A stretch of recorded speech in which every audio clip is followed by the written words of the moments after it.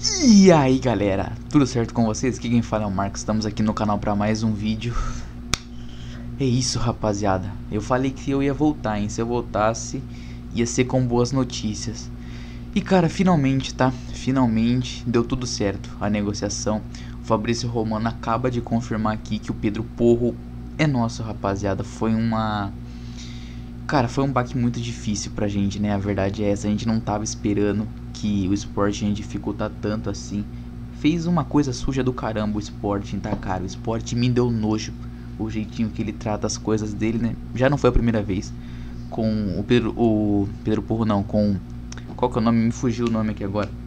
Com o Bruno Fernandes foi a mesma coisa que fizeram contra a gente. E o Bruno Fernandes a gente acabou perdendo pro Manchester United. E agora ele é finalmente nosso, rapaziada, ele é finalmente nosso. Bom, eu não vou me alongar muito nesse vídeo aqui, tá? Eu só vou falar pra vocês só a informação aqui que o Fabrício Romano soltou.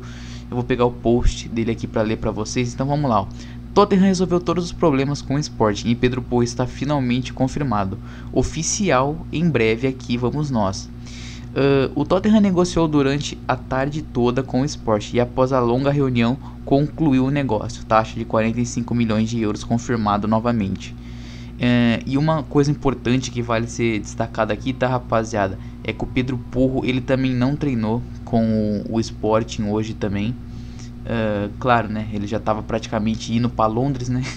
Não, não tinha por que treinar com o Sport e agora tá tudo certo, né? Eu acho que foi bom ele ter forçado essa parada do treino, né? Não ter ido pro treino.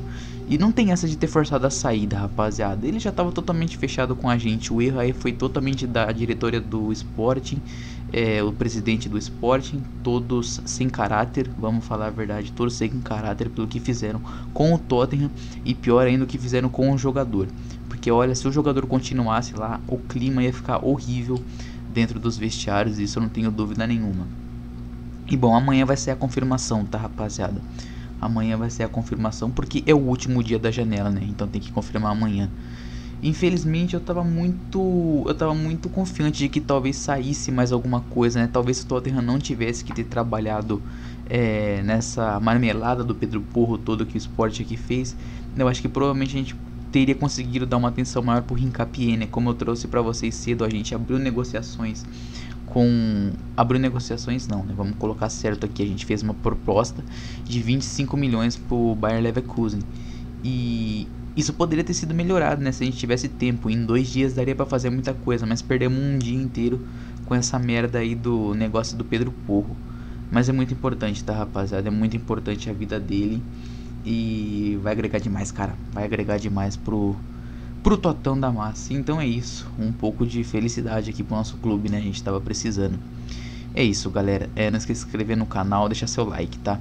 Até a próxima e fui!